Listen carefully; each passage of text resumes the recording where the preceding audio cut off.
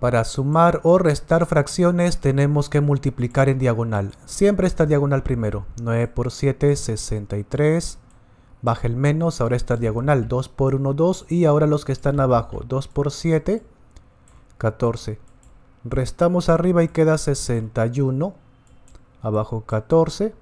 Ahora, ¿esta fracción se podrá simplificar? No, ¿verdad? Porque no se pueden dividir ambos entre un mismo número. 14 se podría dividir entre 2 o entre 7, pero el 61 no, por eso ahí termina.